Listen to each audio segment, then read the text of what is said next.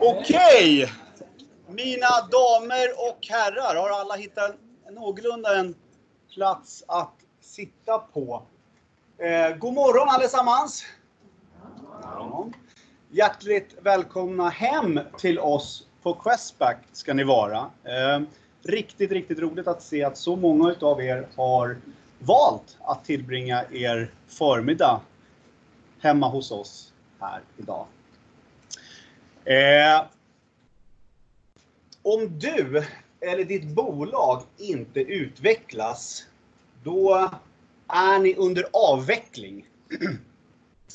Ett ganska ballsy statement så här på en ganska mörk, grå tisdagsmorgon.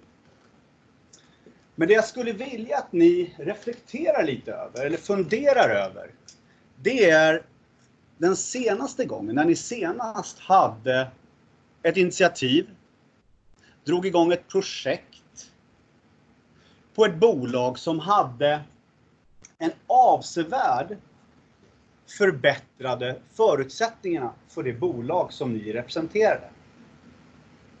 Tänk tillbaks till det initiativet där ni var en stor bidragande faktor till de här förbättringarna som ni iscensatte. Och när ni funderar på det här projektet, det här initiativet som ni var delaktiga och ansvariga för, vill jag att ni funderar en stund kring hur det fick er att känna er. Förhoppningsvis var det en känsla av glädje, positivitet och kanske stolthet också. Och den här känslan vill man ju ha så ofta som man kan och bidra med de här förbättringarna så ofta som möjligt. Och för er som inte har haft den känslan på ett tag, då är jag jätteglad att ni har valt att komma hit idag. För vår förhoppning, det är när ni går hemifrån er förmiddag här, att ni tar med er en eller två idéer. Att ni har fått in en eller två konkreta exempel på idéer eller förslag på hur ni kan hjälpa er själva, ert team eller er organisation med den här typen av förbättringar. Och just kontinuerlig utveckling, det är någonting som vi på Questback verkligen, verkligen brinner för. Och varför vi är så inspirerade av just kontinuerlig utveckling, feedback, det är för att vi har sett effekten utav det på nära håll i de kunder och de projekt som vi har fått äran att jobba tillsammans med. Vi har sett hur man jobbar smartare, snabbare och blir mer effektiv än någonsin genom att hitta den perfekta mixen mellan teknik och metodik. Och det gäller att hänga med, för det går fort där ute. Formel som vi utgår från och som vi använder oss utav, den ser ut så här. EX upphöjt till 2 gånger CX är lika med X3. Och det står för Employee Experienced times Customer Experience equals Experience Management Supercharged. Och varför vi har just en upphöjt till 2 vad det gäller för just medarbetarupplevelsen, det är för att vi tror att det är där allting börjar. Men att det är en mix av att man arbetar med just medarbetarupplevelse, medarbetarengagemang och gör det tillsammans med kunden. Och har man koll på de här två byggklossarna, ja men då har man en väldigt, väldigt bra väg, en bra riktlinje framåt. Oxford University gjorde nämligen en studie så sent på som 2019 där man slog fast att bolag som arbetar med den här typen av förbättringsåtgärder och den här typen av kontinuerlig förbättring har en avsevärd betydelse och impact på det bolag man jobbar på. I deras studie som gjordes 2019 så såg man att de bolag som drev den här typen av initiativ var betydligt mer lönsamma. Hade hela 12% ökad produktivitet och växte över fyra gånger snabbare än sina konkurrenter. Och sen var det en mängd andra fördelar som minskad personalomsättning och så, vidare. Och så vidare. Och det är den här typen av effekt som vi ser. Och det är därför alla vi som jobbar på Questback är så passionerade kring just hur vi hjälper våra kunder att nå det här resultatet. Och ser fram emot att hjälpa er att få den här typen av effekt på de bolag som ni representerar. Och vad har vi för take då, vi på Questback? Jo, vi vill vara HRs högra hand och ibland är vi tvungna att även vara den vänstra och vägleda er, HR-avdelningarna, att på riktigt utgöra den skillnad. Vi vill vara hjärtat, eller kittet, mellan just att använda the state of the art på tekniken. Och det har hänt så mycket de senaste åren bara. Där Questback verkligen har gått i bräschen för den här typen av utveckling. Men det handlar inte om den världens bästa teknik endast, utan det handlar också om metodiken. Och här såklart har vi hjälp av två miljarder surveys som vi har gjort genom åren. Men också sättet som vi arbetar med partners, med våra kunder för att se vilken typ av fråga, vilken typ av uppföljning är absolut bäst för den här typen av utmaning, situation eller det vi vill förändra. Och det är det här någonting som vi verkligen drivs utav. Sättet som vi gör detta då? Ja, hur, hur, hur gör vi? Vilka metoder finns? Jo, egentligen är det världens enklaste. Vi hjälper er och våra kunder att, att lyssna in, att tap in till ert bolags absolut viktigaste resurs och det är ju såklart medarbetarna. Det här örat ska symbolisera att vi hjälper er att skapa den här lyssnandet, att möjliggöra det här. Vad tycker mina medarbetare? Vad tycker mitt team? Vad är det som är bra, vad är det som är dåligt? Hur kan vi förändra status quo? Men det handlar inte bara om att lyssna, utan det som vi är passionerade för, det är att ju skapa den här dialogen. Vi pratar om ett kontinuerligt lyssnande, ett kontinuerlig dialog. För att på riktigt skapa den här flödet. Det handlar inte bara om att göra en gång, utan det handlar om att göra det över tid, hela tiden. Det är så man uppnår absolut bästa resultat. När jag lämnar över till morgonens eh, verkliga talare, så för oss handlar det om upplevelsen. Där den inre cirkeln ska symbolisera medarbetarresan. Där vår teknik, vår lösning, våra metoder stödjer från själva rekryteringsfasen i hela medarbetarresan fram till en kollega slutar. Och vi har precis liknande lösningar för kundresan. Och det är det här jag menar om. Vi behöver få ihop medarbetare med kundresan och då har vi en väldigt bra riktning. Jag har den stora äran att för, eh, önska min kollega Luke hit idag som kommer prata om egentligen två delar, två lösningar som vi har specifikt kring just hur man stödjer den här medarbetarresan. Och det är vår Leadership 360-lösning och eh, vårt sätt att mäta pulser medarbetare. Men jag nämnde ju också, det spelar ingen roll hur mycket data vi har, hur mycket information vi har. Allt handlar ju sen om hur vi kommunicerar detta som får en direkt skillnad på hur det här uppfattas, vilken effekt det får.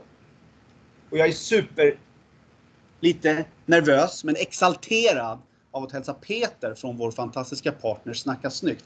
Följer ni inte dem på Instagram, gör det. Ni får ett fantastiskt bra information, konkreta tips kring just huret och kommunikation som är jätteinspirerande och intressant.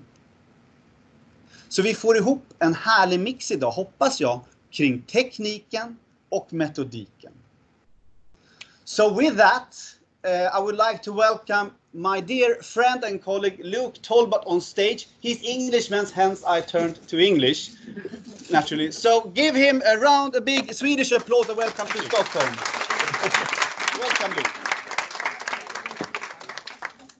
Luke. So I'm really sorry but I'm going to speak in English the whole time. And I don't speak much Swedish. I heard one phrase, status quo. Oh. I really like the fact that you're referencing the UK's best music. That's really good. so no, I don't really speak any Swedish. So we're going to do this in uh, in in uh, English. But you've already seen quite a lot of the words that I'm going to use in your presentation, all about experience management, etc. Uh, but before I show you our technology, I just wanted to talk a little bit about uh, about Questback and what's uh, what's driving our product roadmap and why we're building the tools that we're building. And a question we ask ourselves a lot in product management. So I should probably say that first. I'm uh, a VP of product and product marketing at Questback, um, and so I've been working with our technology for the last six years to try to help our customers to get ahead. And one of the questions we ask ourselves all the time is, what kind of business are we in?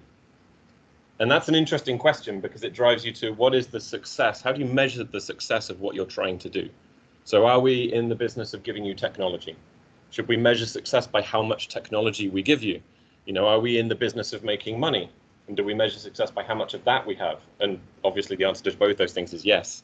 Um, but also, I believe we're in the business of uh, helping you to deliver extraordinary experiences. Now, that sounds very marketingy and like very high level. So I'll dive a little bit deeper. What do we mean by extraordinary experiences? And a lot of you will have heard of the experience economy. So show of hands, who's heard of the experience economy? Fantastic. Okay, about 20, 30% of the room. Um, extraordinary experiences are the things that define us as human beings, right? They're the things that drive us. They're the things that we go out looking for. They're the things that we tell our friends about and our colleagues about when we get into the office in the morning. Um, they're all of the things on here, right? Getting to the peak of a mountain, having a baby, skydiving. We're not going to help you do any of this anytime soon, um, yet. Uh, but they're also the smaller things. They're the things that make you keep going back to that same place for your cup of coffee. Yeah, it's the thing that made me when I got up at, uh, uh, this morning. I went to Joe and the Juice opposite to go and get my latte, and it was closed at half past seven right? So next time I'm here, am I going to go to Joe and the Juice at half past seven in the morning? Even if they're open, I'll probably go somewhere else first, right? So they're the little things that make you always go back to the same airline. These little bits of great experience that we have are why we are loyal to different businesses, but they're also why our employees come to work every day. They come to work for great experiences. Yeah, of course you pay them. Yeah, that's nice. It's nice to have a little bit of emotional blackmail there, but uh, but also they go there because they have a great experience. They have friends at work and and they enjoy being there. It's why we use the same app every day, right? Why do you have three or four apps and you go into them every single day all the time? Because you have a great experience. You enjoy doing it. It's why you have a favorite streaming service, right? We all have one. It's probably Netflix, but it could be Amazon Prime. Who knows? It might be the iPlayer on BBC, and it's probably not the Apple one. So extraordinary experiences don't just have to be, you know, going up to the summit of Mount Everest, which I know we'd all love to do probably. It can be how you get your taxi, as simple as that, or as simple as your first day at work. How many of us have really sat down and thought about what the experience is like for somebody who's never worked in a company before and they're doing their first day at work? Right? What's it like for them? How intimidating is it for them? How welcoming was everybody? Did they have everything ready for them? And so what we do quite a lot is we look at these experience journeys and we try to look at all of the different steps and how we can try to improve that. Now, if you look at what Uber have done, this is there's this phrase now, you know, looking for an Uber moment, right? Has finance seen its Uber moment? Has shopping in a shop seen its Uber moment? And I mean the good Uber moment, not the bad one that we've all heard about in the press. But what Uber did really, really well is they looked at that journey of something as simple as getting a taxi, and they fixed, right? Who's got an Uber before? Okay, good. Everyone. Who's got a Lyft or a My Taxi? There are all sorts of different services. If you go to the Middle East and Africa, it's Careem. Basically, they revolutionized an industry overnight by taking something that we all knew that nobody thought was broken and completely fixing it, and now they're a billion dollar industry. Right? So these checking the experience and making it extraordinary for users is really, really important. And that also applies to our employee journey. You know, so we all have this employee journey. We all are used to it. You're used to looking for a job, starting work, going through the interview process, getting the offer and the negotiation, going, getting your contract and starting work. But how many times have we really taken a step back and looked at all the bits where that experience falls down? And why is that important? Because actually getting a job is just as competitive as getting a taxi. They could go somewhere else. They could, when they drop out, tell everyone about it. about how terrible it was. They could go on Glassdoor and say the interview process was terrible. You know, no one met me at the foyer. You know, the interview was wasn't what I expected. I never heard back from them. How many people have been to a job interview and not heard back for a really long time? That's most of us, right? And that these are very simple things to fix. So looking at these experiences and trying to make them extraordinary is the business that we are in. And it's actually a grassroots thing. You can't change these experiences without empowering everybody in your organization to identify and close those experience gaps. You can't just look at this from the boardroom and say, okay, well, this is the experience, let's change this. Of course you can if you're going to like radically change what you do or massively innovate. But generally, the day to day, you need to empower people in your organization to be able to find out where the experience is dropping down. And so this is something that we've been focusing on now for two or three years. How are we going to empower everybody in an organization to use experience data? And the first problem we came up against, which I'll show you how we kind of tried to solve it, is the democratization problem. And yeah, I could have called this the Pac-Man problem, I realize. But um, basically, most people have no idea what to do right? If you went to somebody and said, I want you to fix the experience of your new recruits, they probably wouldn't know how to fix that experience. They haven't been a new recruit for 15 years. They've never been through that exact process in your organization because you changed it. So they think it's better. Um, but the other thing is, even if you wanted to say, well, why didn't you get some data? Why didn't you find out? Why didn't you ask people going through this process? They have no idea how. And the reason is because you've got three types of users in your organization. You've got experts, these are your analysts, your scientists, the people who've done organizational psychology, the people who understand methodology. You've got your DIY users. These are the ones who've downloaded um, SurveyMonkey, or they might use Essentials from Questback, or whatever tool they might use to actually send a survey out. And then you've got the majority of the company who never wake up in the morning thinking, I'm going to send a survey, right? I never wake up in the morning saying I'm going to send a survey to somebody, and I work for a survey company, so that's crazy. Most people don't wake up thinking the answer to this problem is to ask people. They sit down and they look at the problem and they say, I'm going to do this. They're going to go with their gut or they're going to search online for some Harvard Business Review article or something like that. So our problem is to enable all these people to get experience data, to identify those experience gaps, and then to try to close them.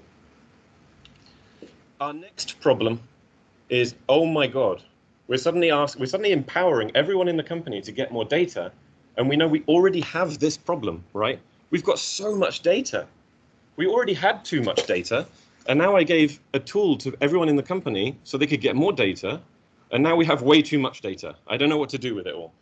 And this is a problem that's been growing. This is uh, Gartner data showing the amount of data we've been gathering since the 90s and how many is available for analysis.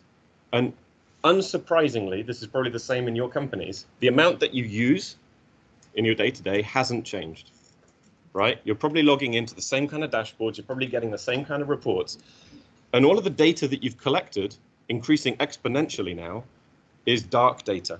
It's unavailable to you. You can't really access it without sending a load of emails to people who hate you because you said, can you give me the data from the last 10 years, right? So how do we close this gap? How do we give people more experience data? And this is important for so many reasons. It's not just because we have all this data already, so why don't we use it? It's also important because if we keep asking people questions that they've already answered, they're eventually going to be really annoyed with us, right? If every single time people go through a process, you ask them the same question because you don't have access to the data, they are going to stop answering. And so your response rates will go down, the quality of responses will go down, and you'll think that everything's fine. So we need to solve that problem. And the way we need to solve that problem, and I'll show you some of the solutions that we're putting into place to fix that, is to actually connect all of this data. How can we get all of the experience data from our customers? How can we get all of the experience data from our colleagues? Um, how can we connect that with operational data? with this kind of transactional data in the company, like when did people join, how much did they get paid, when was their performance review, and what was it? Uh, but also, how much money are they spending with us? Are they a customer? If they've been a customer for 10 years, all these sorts of things. And also, not so much now, but it will start to happen more and more telemetry data, right? Data from IoT, things like the sensors in my car that make my insurance cheaper, those sorts of things. And pulling all of that together so that a user here in the center can find out why something is happening and what to do about it. And what we're bringing to that problem is a whole ton of AI and machine learning. So we're using a lot of services from AWS and Azure and Google to connect all of this. Um, and the more data you have, the more metadata you need to describe that data.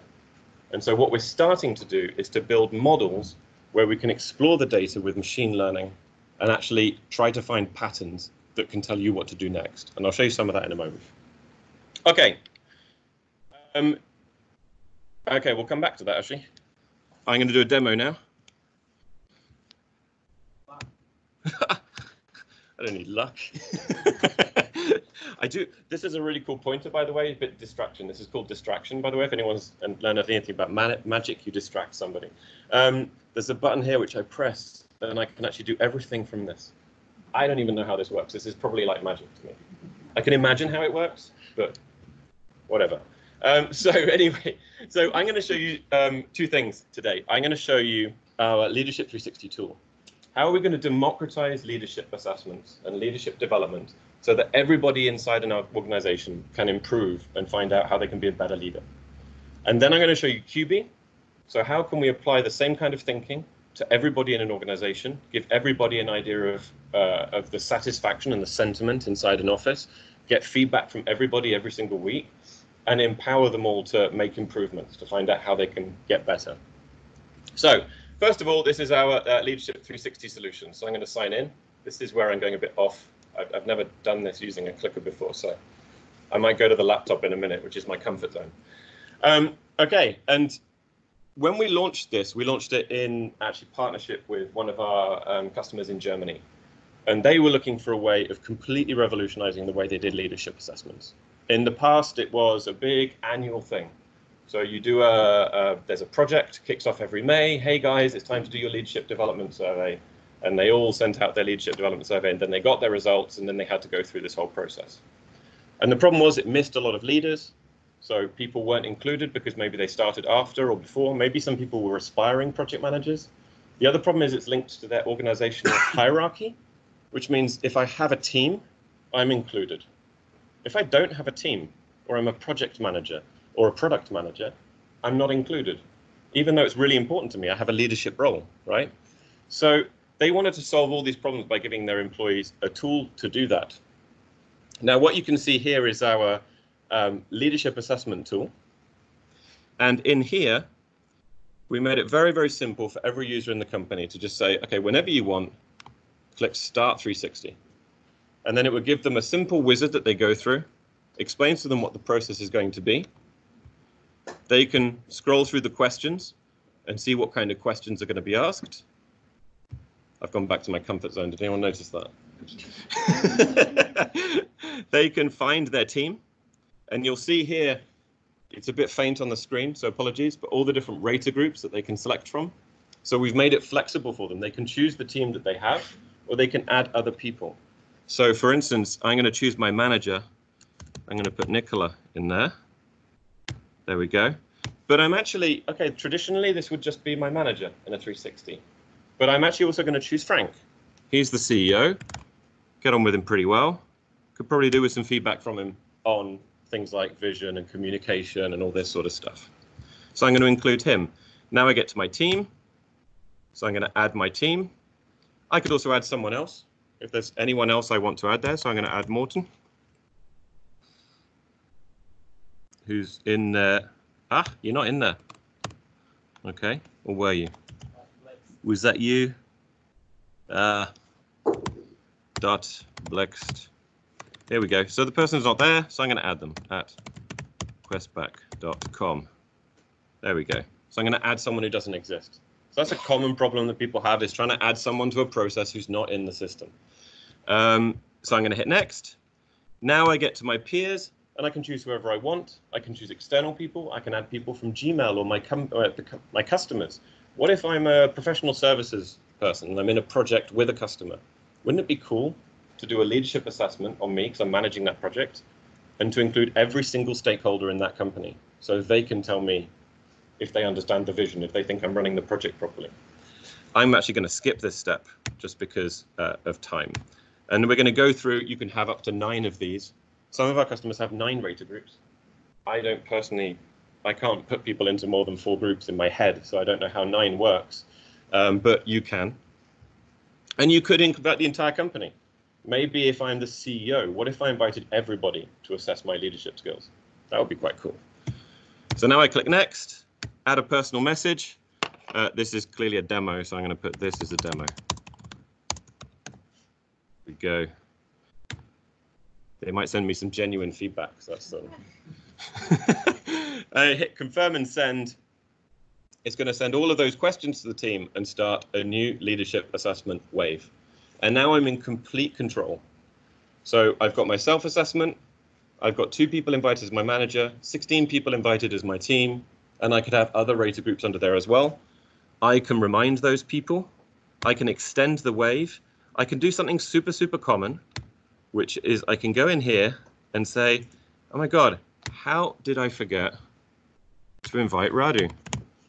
That's crazy. Okay, I'll add Radu. Now Radu's invited to this. So I'm in complete control of this process. And throughout this entire process, I'm going to get feedback on what stage we're at. So when everyone's received, everyone's completed their survey, I'm going to get an email to say, hey, your results are ready. So immediately I'm going to go into view results. This is, uh, I don't know if anyone's watched a program from the UK called Blue Peter. Anyone? No? It's a terrible reference for Sweden. Okay, I'll never use that one again. Anyway, they did a lot of demos and they'd always have one they made earlier. They'll always say, oh, here's one I made earlier. And so here's one I made earlier. Uh, I'm going to show you the results. Uh, these are actually my genuine Leadership 360 results. So um, I ran this process back in August.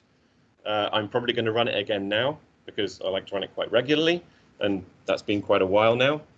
Um, so these are my real results. You'll see why I show my real results in demos because they're pretty good. Um, if, if it was all development errors and blind spots, I probably wouldn't show so much of it. Um, but now I can go in here and I can say, okay, well, how can I improve? Let's have a quick look at the detailed view.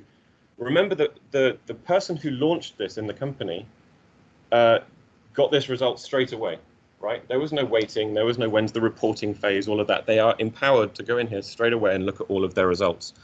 I can see all of the different rater groups I had. I invited one person as manager, seven people as my team, and 10 people as my peers. I can see all of the different bits of feedback. The one that is probably, I guess, the lowest is support and development.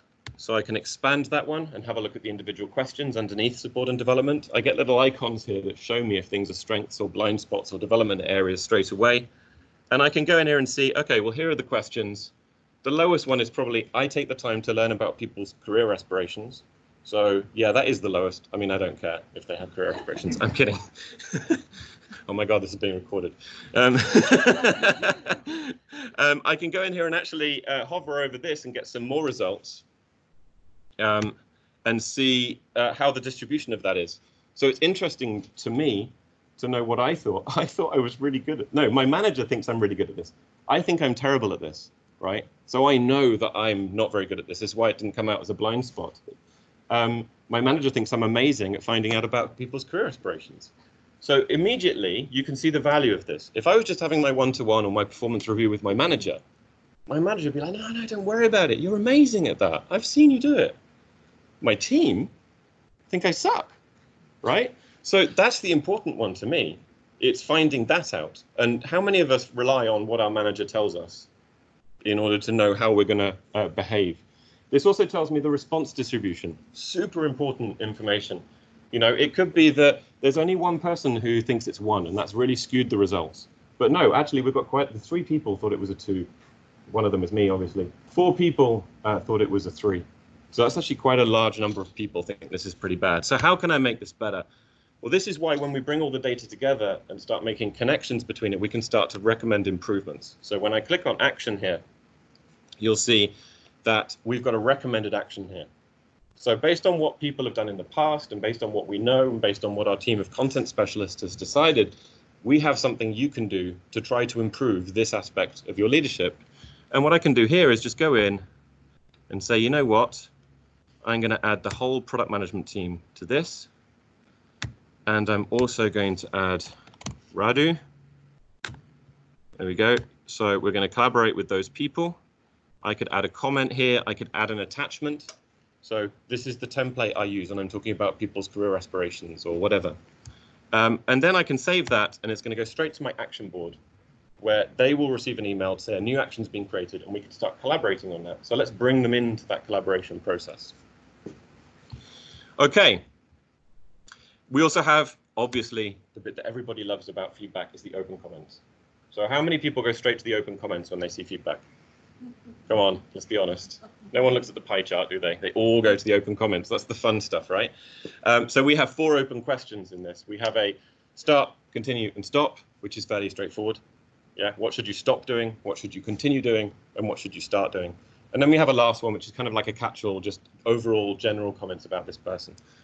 Um, yeah, okay, there's some testing data in here, thank God. Um, so what should I stop doing? Let's see if there's anything actionable in here. I should stop using humor. Anyone agree? no one said yes, so that's good. I'm happy, I'll take that one. Uh, here's a good one. There are times when Luke uses comedy to his disservice. So I've always just wondered whether I should be in product management or stand-up comedy. I guess I'll let you be the judge of that. Um, but I can say, you know what, that's quite insightful. That's something for me to do on my own. I'm going to click and add that to my actions as well. I'm just going to keep this in the back of my mind. I'm going to save this, and that's going to straight into my action board. Um, and I'll be able to go in here and action this with my team. There we go. Uh, there are times when Luke uses comedy to his disservice. I can now click on this. Uh, if I did decide to collaborate with anyone, maybe I could add Nicola, my manager, to this, and we could discuss it. Uh, what's most likely to happen is I'll add it to my action board, and then my one-to-one with her, we'll talk about it, and then I'll just think about it next time I'm presenting or something like that. And then when I'm ready to complete this, I say, yeah, I've stopped using comedy. You can click on the star. Everyone involved in an action will receive this. You can click on the star and rate the impact of this action. So as we go through the feedback impact cycle, yeah, okay, we're taking action, but did it make any difference? Was there any point to do that action? And then we collect this data, and it's going to help us make better recommendations next time. You know what, if you have a low score here, and you do this action, we expect a big impact, those sorts of things. A bit like the Amazon people who bought this also bought this. Okay, so this is how we are trying to change how people develop their leaders in large organizations. Um, I have one story about how we've deployed this to a customer. It's unfortunately I can't name the customer. Um, it's a, a, large German pharmaceutical company, and they initially started with deploying this to 500 people inside the organization. Within three months, that was like a pilot. Within three months, they deployed it to 2,000 people. So this is 2,000 people in their organization with access to these tools to be able to get feedback and use it. And now they are deploying it to 90,000 people. And I'll just show you, before I move on to my last demo, I'll just show you a quick quote from them. This was an email their HR department got. Um, and I love this quote um, because for so many reasons. One, because uh, we were mostly deploying this in Europe, and this is from the person from Latin America and Canada. I don't know where the USA is in all of that, Latin America and Canada, just those two bits, not the bit in the middle. Um, but I love this quote for two reasons. The first is that this is exactly why we designed it. Remember, we wanted to democratize these tools. And if you're going to give the tools to everyone in a company, it has to be easy to use. It has to be has to have a, an element of virality to it, so that when you give it to one person, it's easy to give to another person and deploy without training and stuff like that. So it is digital, flexible, etc. But the other reason I love this quote is because ever since I started at Questback and we started trying to improve experiences for people in HR and for people inside the organization, we've wanted to make HR the hero, right? Not the, the person you kick in the company. I want a pay rise, or I've got a problem with my pay, or I've got a problem with this, or I need to go on holiday, those sorts of things. Not the kind of like the very transactional thing, but the people who are actually there to provide solutions to make things better, because that's what HR are doing, right? And so I love this because this made HR the hero in this company. They went from running processes to delivering tools to people so they could actually develop and become better. So I love that. Right. Okay. And for my last trick. Um, so you saw there was a guide involved in this. It's what we call a guide. It's actually what we are starting to call experience apps. These things are like little apps that we can deploy to companies, and it's very, very flexible technology. So in the back end, we can apply any methodology, any visualization to these. And what we have done with Qubie is we've developed more. So we have an ideation one. So you can run an ideation process with your team.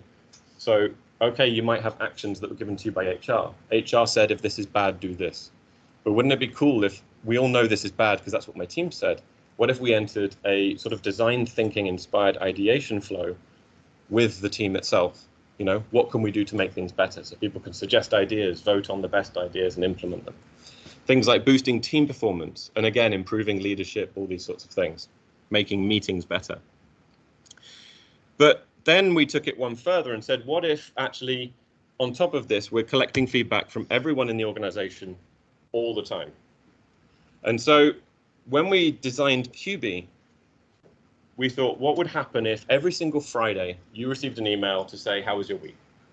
Right? Because we all know engagement is this metric that doesn't change much, right? It's kind of persistent. There's a persistency to how you are at work about, you know, how much energy you put into something. I'm, I'm an engaged person or I'm not an engaged person. It's relatively difficult to move that needle.